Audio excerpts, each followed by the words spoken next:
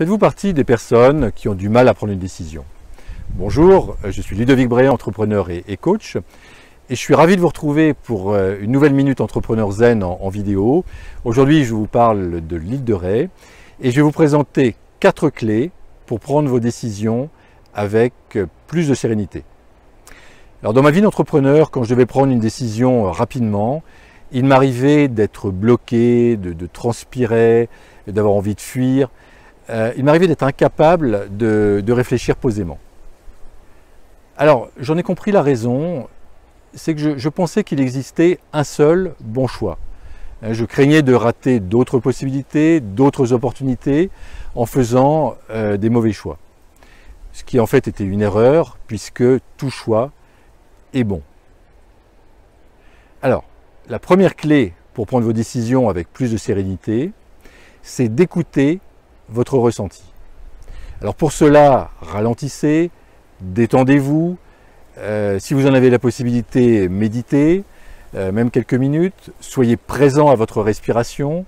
Euh, écoutez votre corps, parce que le corps nous parle. Alors dernièrement, j'ai pris une décision, une douleur est apparue au, au ventre.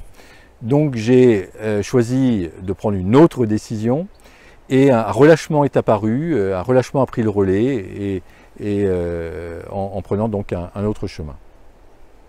La deuxième clé pour euh, prendre vos décisions avec plus de sérénité, c'est d'imaginer que votre décision n'aura que des effets positifs.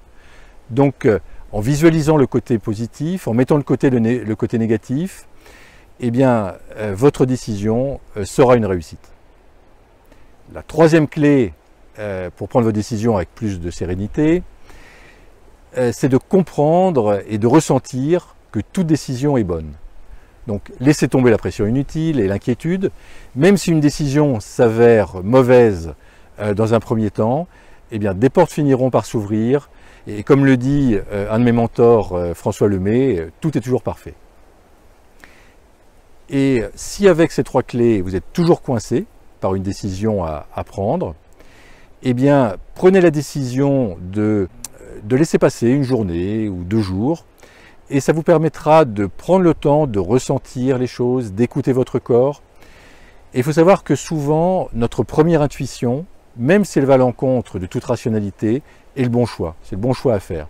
Euh, quand j'ai pris la décision, par exemple, de créer un blog ou de faire des vidéos, ce n'était pas un choix de, raison, euh, parce que je me sentais totalement incapable de faire une vidéo, totalement incapable d'écrire des articles de blog.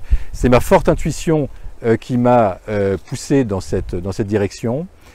Et, aujourd'hui, euh, je remercie vraiment cette, cette intuition. Alors, c'était Ludovic Bréant, donc, qui vous aide à entreprendre pour participer à la création d'un monde meilleur. Vous pouvez me suivre sur le blog Entrepreneur Zen. Vous pouvez me suivre et vous abonner à la chaîne YouTube Ludovic Bréant et vous recevrez plusieurs vidéos inspirantes chaque semaine. Si vous avez aimé cette vidéo, eh n'hésitez pas à la partager ou à la liker je vous souhaite le meilleur et je vous dis à très bientôt.